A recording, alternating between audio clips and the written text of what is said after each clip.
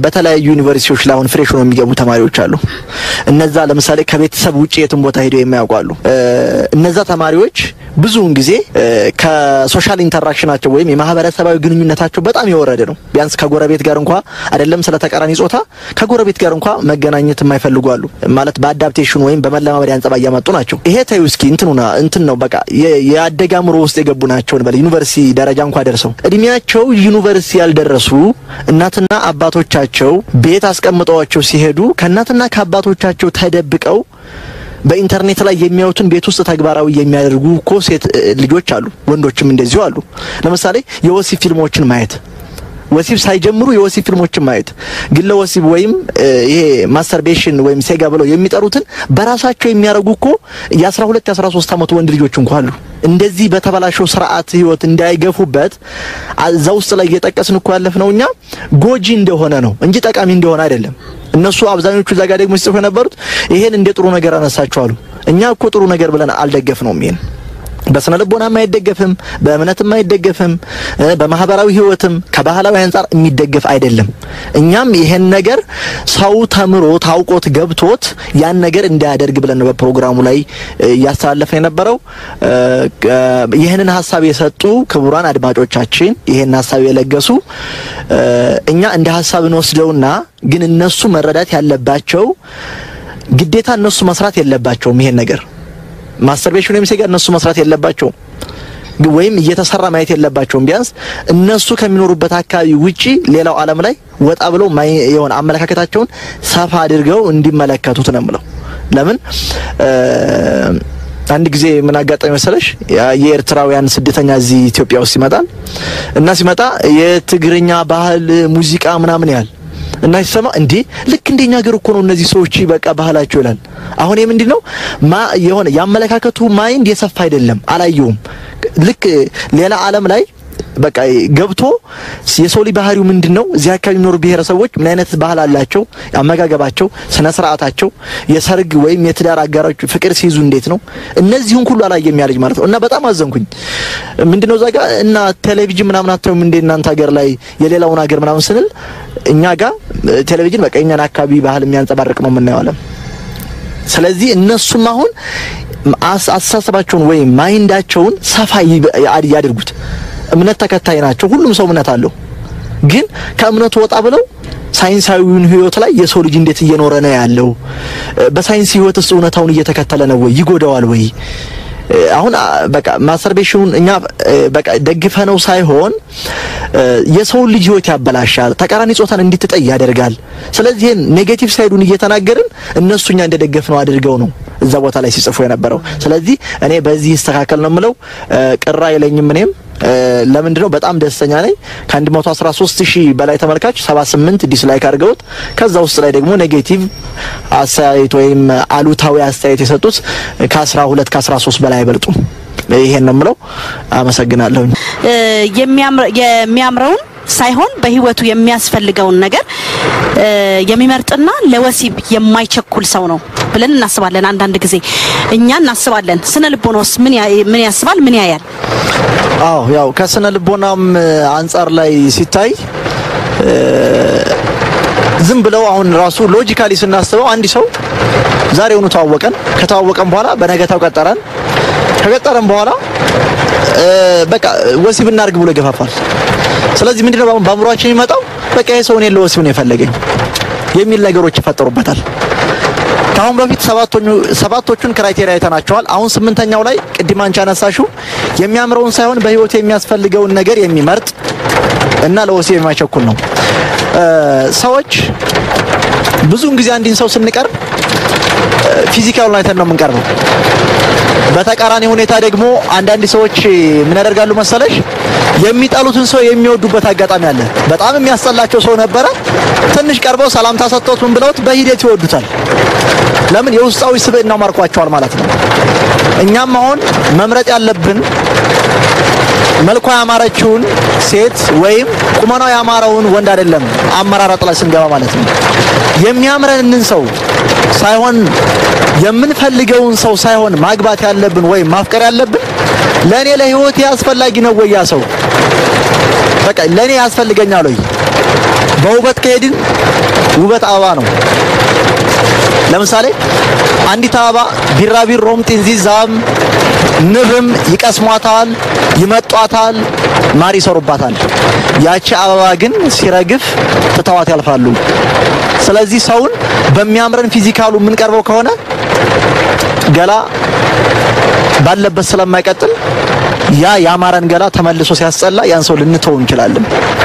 ስለዚህኛ ለወደፊት ህይወቴ የሚያስፈልገኝን እንጂ የማፈቅረውን ወይም የሚያፈቅረኝን ያማረኝን ወይም እኔ ስላማርኳት ምርጫ ውስጥ መግባት የለብኝም ማለት ነው። ያ ማለት ሰው ሁሉ ከወደደው ጋር ላይኖር ይችላል። አንድን ሰው ታፈቅሪዋለሽ፣ ትወጀዋለሽ፣ ከምንም በላይ ብዙ ነገር ትሆኝለታለሽ። እሱ ግን አንቺ ጋር መኖር ላይፈልግ ይችላል። ሁለተኛ አንድ ሰው ያፈቅርሻል፣ ይወድሻል ከምንም በላይ ግን አያስብልሽም። ለምሳሌ ቤት ውስጥ እንዳትወጪ ከማንም ጋር እንዳታወሪ ይልሻል። የሌላ ሰው እንዳትሆኝበት ስለሚፈልግ ግን በጎን ነጻነትሽን እየነፈገ የቁም እስረኛ አደረገሽ። ምንድነው ይሄ?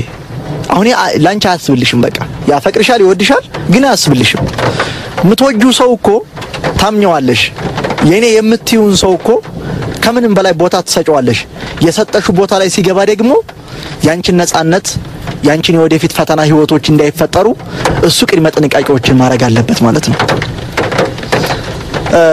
አንድ ሰው በቃ አፈቀራት እንበል፣ አንዲት ልጅ አፈቀራት፣ ከምንም በላይ ይወዳታል፣ ከምንም በላይ ይታመንላታል፣ ከምንም በላይ ለራሷ ህይወት ይጨነቅላታል። ግን ያ ሰው ከሷ ርቆ ቢያንስ አንድ አንድ አመት ወይም ሁለት አመት ውጭ ሀገር ኖሯል። ውጭ ሀገር ቦታ ኖሮ ወደ ሀገሩ ተመልሶ መጣ እንበል። ወደ ሀገሩ ተመልሶ መጥቶ ሚስቱ ጋር ሴክስ ሊያደርግ ፈለገ። በሚፈልግበት ሰዓት ላይ በቃ ደስተኛ አይደለም፣ ለማድረግም አልደፈረም። እሷ ደግሞ ማድረግ ትፈልጋለች። ምን ሆነ ነው ትለዋለች። በቃ ምን ሆነ ይሄን የማታደርገው ለምንድን ነው? ስህተት ሰርቻለሁ ከምንም በላይ በቃ እኔ ከአንቺ ጋር እንዴት ማድረግ እችላለሁ? እንዴት አንቺን ልቀፍሽ? ምን አድርገህ ነው ንገረኝ። በቃ እኔ እዛ ጋር በቃ በማይሆን ስህተት በቃ እየጠጣን ነበረ ከጓደኞች ጋራ እኔ ቴክስ አድርጌያለሁ ከሌላ ሴት ጋር። ስለዚህ የአንቺ መልካምነት እየገዛኝ የአንቺ ታማኝነትሽ እየገዛኝ እዛ እንዳደረግኩ አታውቂም። እኔ ግን ማድረግ እችላለሁ። ህሊናዬን ግን እንዴት ብዬ ልሽጠው ብሎ ቢነግራት ምን ምን ውሳኔ ትወስናለች? ይቺ እንደ ስነ ልቦናው አንጻር በጣም ታማኝ ሰው ነው ለሷ። ምንድነው ታማኝ ሆነው እዛ ጋር ሄዶ አድርጎ ይል እንዴ ለምንድነው ታማኝ ሆነው ብለ የተናገርከው ብለው አድማጮች ጥያቄ ቢያነሱ በውስጣቸው ለሷ ታማኝ ባይሆንማ ከዛ ጋር ያደረገውን መጥቶ ነግራትም ነበረ። እዚህ ጋር መጥቶ የሷ መልካምነት የሷ ታማኝነት ውስጡን ሰበረው። ከሰበረው በኋላ ግን ሌላ ሴት ጋር ግንኙነት ማድረጉ አምሮ ነቅሶት እንዴት ከሷ ላደርጋለሁ ብሎ ነው። ስለዚህ ሴት ምንድነው ማድረግ ያለባት? ያን ሰውዬ መፍታት የለባትም ባሏን። ታማኝ ባይሆን እኮ ዝም ብሎ እዛ ውስጥ ላይ ሆኖ እንደዚህ ምንም ችግር የለም ብሎ በአፉ ሸንግሏት ያልፍ ይችላል። ግን እውነተኛ ፍቅር ማለት እንደዚህ አይነት ሰውዬ ውስጡን እውነቱን አስፈንቅሎ አስወጥቶ የሚያስወራ ነው። በቃ ፍቅር ማለት ይሄ ነው። እውነተኛ ሰው ማለት ይሄ ነው። በቃ ከጠላሽኝም ጥኝ እውነቱን ማውቀሽ ብትጠኝም ምንም መስሎ አይተኝም አእምሮ የነጻ ስለመሆን። ስለዚህ እንደዚህ አድርጊያለሁ ከተመራመርን በኋላ ነው አንቺ ጋር ማድረግ የምፈልገው ቢላት እሺ ብላ መቀበል ነው ያለባት። ችግር የለውም ሁለተኛ ግን እንዳይለምድህ እኔ ግን እንደዚህ አድርገህ ቢያንስ አእምሮዬን እንኳ ብትጎዳውም ወደ ፊት ህይወቴ ግን በአንተ ላይ እምነት እንዲኖረኝ አድርገሃል። ነገም አትዋሸኝም፣ በቃ ሌሎች ነገሮች ቢፈጠሩ ራሱ አትዋሸኝም ብላ እሷም የልብ ልብ እንዲሰማትም ያደርጋል ማለት ነው። ሌላው የሚቀርባቸውን ሰዎች ለቁም ነገርና ለጊዜው ብሎ መለየት ነው። ይሄ ማለት አንዳንድ ሰዎች አጋጥሞሽ ከሆነ ከባሏ ጓደኛ የምትወልዳለች፣ ከጓደኛው ሚስትም የሚወልድ አለ። ስለዚህ በማህበራዊ ህይወቶች አንዳንድ ነገሮችን ያን ሰው ጀጅ እያደረገ ወይም እየገመገመው እያለ ይሄ ሰውዬ ስራው ላይ እንደዚህ ያደረገ ነው፣ ስለዚህ ከኔ ጋር ቢቀርብስ ለወደፊት ህይወቱ ምን አይነት ነገር ይሆናል ብለን የምንቀርበውን ሰው ማወቅ አለብን። እዚህ ቦታ ላይ ለወደፊት ከትዳር አጋሬ ጋራ ጥሩ ግንኙነትን ሊፈጥርልኝ የሚችለው ማን ነው? ለምሳሌ ሚስቱ ጋር ትንሽ ሊቀያየም ይችላል፣ ፍቅረኛው ጋር ሊቀያየም ይችላል። ሰዎች ሽምግልና ይልካሉ። ሽምግልና ባይላክ ጥሩ ነው። ለመታረቅ ሌላ ሰው አያስፈልግም። እኛ ሰዎች ችግራችን ምንድን ነው? የሆነ ነገር ተቃራኒ ጾታችን አስከፋን። ካስከፋን በኋላ ለዛው ለራሱ አሳዝነን አግባብተን መናገር ሲገባን በማይረባ ስሜት ውስጥ ሆነን እሱን እንናገርና ለብቻችን ስንሆን ግን እኔ እኮ እሱን ወደዋለሁ፣ አፈቅረዋለሁ፣ ብዙ አሳልፌያለሁ፣ ለሱ ብዬ ከቤተሰብ ተነጥዬ እኖርለታለሁ። ይሄን ሁሉ ለሽምግልና ለተላከ ሰው ይናገራሉ። ለምን እንደዚህ መሆን የለበትም። ቀጥታ እዛ ቦታ ላይ ያለ የሆነ ነገሮች በሚፈጠሩ ጊዜ ይሄን እኮ እንደዚህ ሁኝ እላለሁ፣ አንተ ምን ደግሞ ለኔ እንደዚህ ሁናል። ግን ከጠብ ምን ይገኛል? መኖራችን ካልቀረ የእውነት እንኖር። በቃ ዞሮ ዞሮ እንደዚህ ክፉ ነገርም ተነጋግረን ነገ የምንቀጥል ከሆነ ፍቅራችን እየቀነሰ ነው የሚመጣው። እባክህ ወይም እባክሽ ይሄን ቃል አትናገሪው፣ ካጠፋው ይቅርታ። እነዚህን ነገሮች እያዳበሩ ሰውን መምረጥ አለባቸው፣ የሚቀርቡትን ሰው ማለት ነው። ስለዚህ የሚቀርበው ሰው ከሚስቴ ጋር ግንኙነቱ ምን ያክል እስከ ምን ያክል ድረስ ይሄዳል? ከኔ ጋር ያለው ግንኙነት እስከ ምን ያክል ድረስ ይሄዳል? እነዚህ ነገሮች ይመጣሉ። ከሚገርምሽ በፍቅር ግንኙነት ላይ ሰዎች ከትዳር ውጪ ወይም ከፍቅር ህይወታቸው ውጪ ሄደው ግንኙነት በሚያደርጉበት ሰዓት ላይ ያለምንም ጥርጥር በሚያደርጉት አክት ማወቅ ይቻላል። በሚያደርጉት አክት ያለምንም ጥርጥር ማወቅ ይቻላል። ለምን እኔ የሆነ ቦታ ላይ ስለገጠመኝ ነው። ልጅቷ ከቅርብ ዘመዷ ጋር ግንኙነት ጀምራለች። ከቅርብ ዘመዷ ጋር ግንኙነት ጀምራለች። መጀመሯን ያወቅኩት በሚያሳዩት act ብቻ ነው። ልጅቷ ትንሽ ልጅ ነች። የቅርብ ዘመድ የተባለው ትልቅ ሰው ነው። እዛ ጋር ስትሄድ የተለየ ነገር ነው act ይዛ የምትመጣው። እሱ እሱ ከእሷ ጋር የሆነ ቦታ ላይ መጣ። እያሳየ ያለው act ያጎትነት ባህሪ አይደለም። ልክ ወንድ ልጅ ሴት ልጅ ሲይዝ የሚያሳየው act አለ። የፍቅር act አለ። የቤተሰብ የምታረገው act አለ።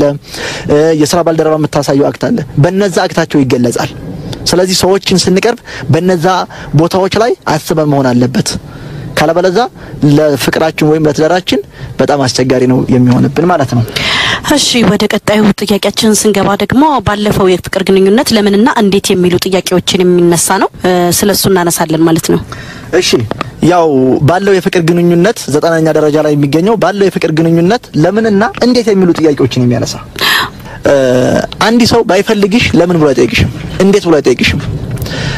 ለምሳሌ ነገ እኮ እንደዚህ አይነት ቦታ ልሄድ ነው ብለሽ ለጓደኛሽ ስትነግሪው አይ ጥሩ ሂጂና ነይ ይሄን ነገር የሚልሽ አይፈልግሽም። በቃ ለነገ እንዴ ይሄን ነገር ልታረግ የፈለግሽው ለምን ብሎ መጠየቅ አለበት። ሲጠይቅሽ አይ ይሄ ለዚህ ለዚህ ነው። ብዙ ጊዜ ለምን ብሎ የማይጠይቀን ሰው ጋር አብረን የምናሳልፍ ከሆነ እኛ ጋር አብሮ የሚሄድ ሰው አይደለም። ማወቅ ያለብን ነገር ማለት ነው። ይሄን ይሄን ነገር እኮ ዛሬ ያደረኩት ይሄን ሰራሁት ስትል ፍቅረኛው አይ ጎበዝ ጥሩ አደረግሽ ማለት አለበት።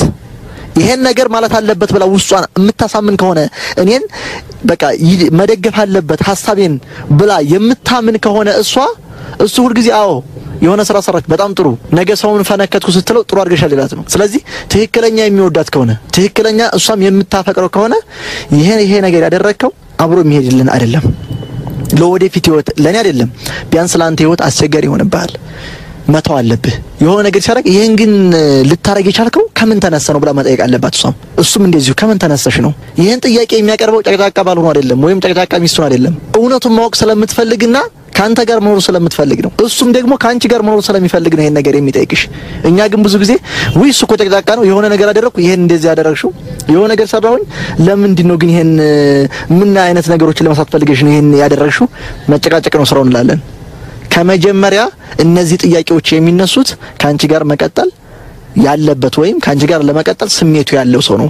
ስለዚህ እንደዚህ አይነት ጥያቄዎችን የሚያነሳ ሰው ጨቅጫቃ ነው ብለን መራቅ የለብንም ማለት ነው። እሺ በአስረኛ ደረጃ ያመጣነው ጥያቄ የሚጠቅመውን ወይ ደግሞ አብሮት የሚኖረውን ሰው በፍቅር ስለማሸነፍ በፍቅር እንዴት ሊያሸንፈው ይችላል የሚል ነውና ወይ በጥበብ ላይ የተመሰረተ ምናምን ሊሆን ይችላልና እስኪ ይህንን ትንታኔ ስጡበት።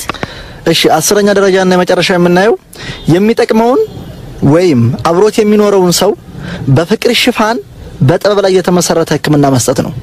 ያ ማለት ስነ ልቦና በስነ ልቦና አብሮሽ የሚኖረውን ሰው ማከም አለብሽ ማለት ነው። ሰውየው ላንቺ ያስፈልግሻል።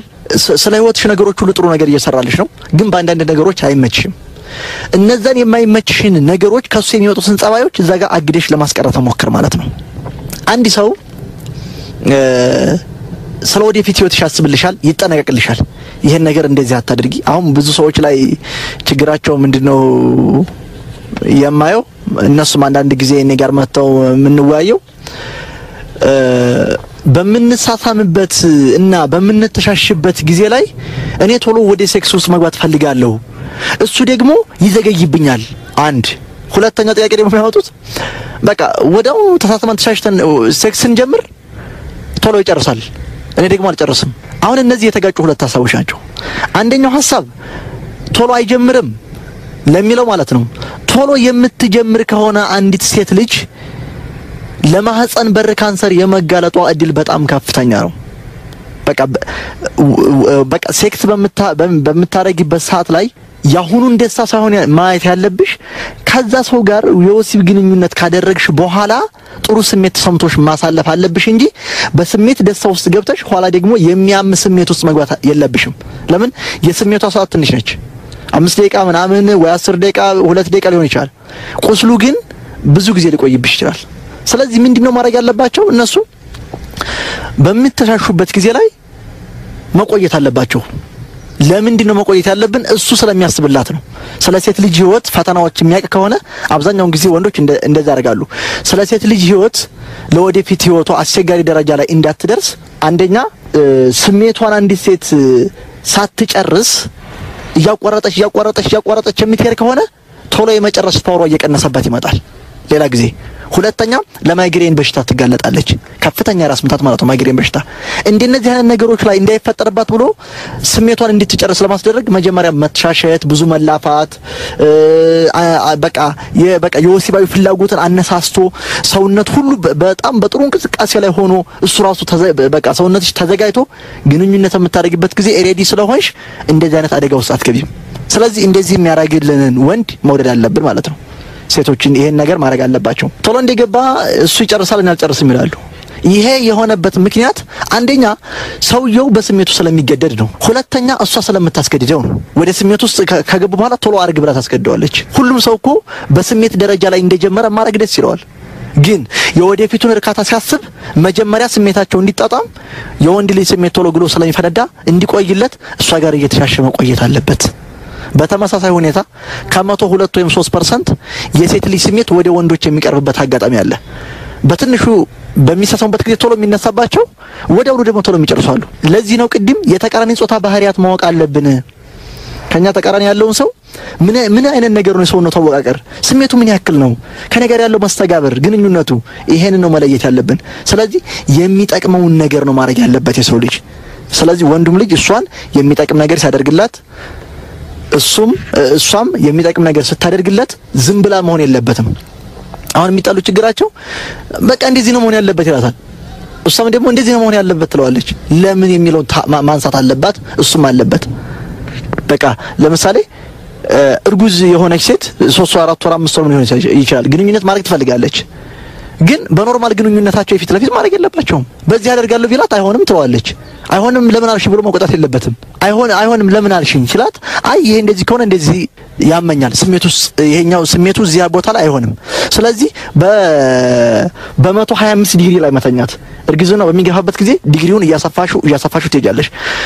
በመቶ 20 በመቶ 25 በመቶ 30 እግርሽን አጥፈሽ አልጋ ላይ ተኝተሽ እንደዚህ ነው የሚደረገው ታስረዳዋለች። በዛኔ okay ይሄ ነው አዎ ይሄ እንደዚህ ሲሆን ታዲያ ምንድነው ላንቺ የሚሰማሽ? ይሄ ደስ ይለኛል፣ ጽንሱ ላይም ችግር አይደርስበትም የሚለውን ነገር ትነጋገሪበታለሽ፣ የሚጠቅምሽን ነገር እንጂ በስሜት ውስጥ ገብተሽ ወደውኑ ታደርጊያለሽ፣ ወደውኑ ጠብ ይፈጠራል። ወደውኑ በቃ ለስሜት ቶሎ ጨረስክ፣ አዎ ለምን ጨረስክ? እኔ ገና ነኝ። እንደዚህ እንዲሆን መጀመሪያ ማስረዳት አለብን ሰዎች፣ ይሄን ማድረግ አለብን። ይሄ ብዙ ጊዜ የሚጠበቀው ብዙውን ጊዜ የሚጠበቀው በባለፈው የሆነ ጊዜ ፕሮግራም ሰርተን እንደዚሁ ምንድነው ያሉት እንትን ላይ አስተያየት ላይ ብዙ ጊዜ ኃላፊነቱን ለሴት ልጅ ነው እየሰጣችሁ ያላችሁት። እዛ ጋ ስለ ተቃራኒ ሕይወት ጉዳይ እያወራችሁ ስትሄዱ አብዛኛውን ድርሻ ሴት ልጅ መያዝ አለባት ነው የምትሉት። አዎ መያዝ አለባት። ለምን ወንድ በሴት ልጅ የመሸነፍ power ኡ ሰፊ ነው። ያ ማለት ሴት ልጅ ወንድ ልጅ ማስተካከል ትችላለች። ወንድ ልጅ ግን አስተካክላለሁ እንኳ ብሎ ቢነሳ ከመቶ አምስት ስድስት ሴት ቢስተካከል ነው ግን አብዛኛውን ጊዜ ስናይ ሴቶች ናቸው ወንድ ሊ shape ማድረግ የሚችሉት። በሴት ይሸነፋል። በሚወደው ሴት ላይ ልቡ ሊጨክን ስለማይችል ወደዛ ቦታ ላይ አምጥቶ ማድረግ ስለሚችሉ እነሱ እዚህ ቦታ ላይ more ቢሰሩ። ሌላው ወደ መጨረሻ ላይ ከዚሁ ጋር ተያይዞ መምከር እንፈልገው በቃ ማንኛውም ሰዎች ተቃራኒ ጾታ ላይ ዘለው ከሚገቡ በአብዛኛው ሴቶች የመጀመሪያ ህይወታቸውን more more international ደረጃ 18 ዓመት ነው የሚሉት ሴት ልጅ ያለ እድሜዋ ወሲብ ውስጥ የምትገባ ከሆነ የምትጀምር ከሆነ ለማህፀን ጫፍ ካንሰር የመጋለጥ መንገዱ ሰፊ ነው። አንደኛ። ሁለተኛ የፍቅር ህይወትን ሳታጣጥመው ህይወት ምን እንደሆነ ሳይገባት እዛ ሰው ጋር ሄዳ ሴክስ ህይወት ጀመረች፣ ወዲያውኑ አረገዘች። እንደዚህ አሁን አይነት ሴቶች አሉ። በመጀመሪያ ህይወታቸው ግንኙነት ያደርጋሉ። ለመጀመሪያ ጊዜ ምንም ሳያውቁት ወዲያውኑ ያረግዛሉ። ቢያንስ ሁለተኛ ሶስተኛ ደረጃ ላይ እንኳን step ሳይሄዱ በዛ ላይ ምንድነው abortion ግዴታ ማድረግ አለባት። abortion ስታደርግ ምንድነው ማህፀን ግዴታ ይጠረግላታል። በሚጠረግበት ሰዓት ላይ ደግሞ የማህፀን ኢንፌክሽን እንዲባባስ ያደርግላታል። ምንነቱን ሳታውቀው የፍቅር ጣዕሙን የወሲብ ስሜት እርካታውን ሳይገባት እንደዚህ አይነት ደረጃ ላይ ይገባሉ። ሴቶች ላይ focus የማደርገው ችግሮች አብዛኞቹ ላይ የሚከሰቱት በሴቶች ላይ ካንሰር በዓለማችን ላይ እንዲስፋፋ ሆኖ መፈጠር የመጀመሪያው መንገድ ስለሆነ ራሳቸውን ከጉዳት እንዲጠብቁ እንጂ ሴት ላይ ጫና መፍጠር ወይም ሴቶች በታች ናቸው ብለን እያሰብን አይደለም። እዛ ጋር አስተያየትም ስላየሁኝ እዚሁ ላይ አብሬ ልጨምር ብዬ ነው። ስለዚህ care ማድረግ አለባቸው። ግንኙነት ከመፍጠራቸው በፊት እንዴት ማድረግ ይሻለኛል፣ ምን ማድረግ ይሻለኛል ካለፉት ሴቶች ጠይቀው መረዳት አለባቸው። ብልህ አይቶም ይማራል ደርሶበትም ይማራል። ግን የሴት ልጅ ሕይወት ላይ እዛ ቦታ ላይ እየተበላሸ ሊመለስ አይችልም። ይከብዳል። ኢንፌክሽን ለመታከም በጣም ከባድ ነው። ከዚህ ጣጣ ውስጥ ሳይገቡ መጀመሪያ ራሳቸውን care አድርገው ግንኙነት ሲፈጥሩ መጀመሪያ ህይወት ሴክስ ህይወታቸውን ሴቶች care ማድረግ አለባቸው። ቢቻል ቢቻል ከሀያ ዓመት በኋላ ቢጀምሩ ነው የሚመከረው። ከሀያ ዓመት በኋላ ቢጀምሩ ለምን ሰውነት እስሬን ጊዜያቸው ስለሆነ ከመቶ አስር አስራ አምስት ሴቶችም በልጅነታቸው በአስራ ሰባት አስራ ስምንት አግብተው ሊወልዱ ይችላሉ። ያ ማለት ስሜቷ በሀያ ዓመት አካባቢ ይመጣል ማለት አይደለም። እዚህ ጋር እንዳትሳሳቱ አድማጮቻችን። ስሜቱ ሴንሱ ቢያንስ ከ11 ዓመት ላይ ይጀምራል። ግን ጠንካራ አመለካከት ኑሯት የአካላዊ ጉዳት እንዳይደርስባት ከ20 ዓመት በላይ ቢያንስ ብትጀምር ጥሩ ነው። 20 21 አካባቢ ላይ ብትጀምር ጥሩ ነው። ይበሳል አመለካከት ስለሚኖራት ማለት ነው። ከዚህ በፊት ምን አይነት ጥያቄ ተጠየቅኩኝ በዚሁ ፕሮግራም ላይ ማለት አሁን በዚሁ ሳምንት እኔ ትንሽ አስቆኛል። ማለት ሴክስ ቀንና ማታ የሚለየው ነገር አለ በስነ ልቦና? ቀን ቢደረግ ችግር አለ ወይ? ማታስ ቢደረግ ምንድነው ለውጡ? ምንድነው? ምን ላይ ነው ቀንና ማታ የሚል ነገር ተጠይቄያለሁና በስነ ልቦና አማካሪ ስታገኝ ይሄን ነገር ጠይቂልኝ ተብዬ ነበረ። እሺ አሁን የሴክስ አደራረግ ቀናቶቹ ወይም ሰዓቶቹ እንደ ሰዎቹ ይለያያል። የሰው ልጅ የሚጠቅመውን ነገር ሳይሆን እየመረጠ የሚሄደው የሚያስደስተውን ነገር ነው እየመረጠ የሚሄደው በሰው ሲኖር ማለት ነው። አብዛኛው ሰው እንደዛ ነው። በዚህም የተነሳ በመለማመድ የምንለምደው መጥፎ ባህሪ አለ። አንድ ነገር ይደጋገምብሻል ይደጋገምብሻል፣ በዛው አዳብት ታደርጊዋለሽ፣ ትለምጂዋለሽ። አንዲት ሴት የሚጨቃጨቅ ባል ብዙ ጊዜ ካላት እሱ ጋር ድንገት ቢሞትባትና ሌላ ጋር ብትጋባ ካልተጨቃጨቀ ያን ነገር በቃ ጥሩ ፍቅር ላይ ላትሄድ ትችላለች። ልክ አሁን አንቺ ጋር እንደጠየቁሽ ምን ገጠመኝ፣ አንድ ጊዜ አንድ ሰው ጓደኛዬ አለ ቤት ውስጥ ላይ ሴክስ በምናደርግበት ጊዜ ደስተኛ አትሆንም፣ ጥሩ ስሜት አይኖራትም። ግን ወደ ውጭ ላይ በምንሳሳምበት ጊዜ በጣም ጥሩ ስሜት ውስጥ ትገባለች። በጣም የተለየ ነገር ቢያንስ እዛ አካባቢ ላይ ሰውነቷን እንዳሻት ጡቶቿን እንድነካላት በጣም ትገፋፋኛለች። እጄን ሁሉ ይዛ ወደ ራሷ ትወስዳለች።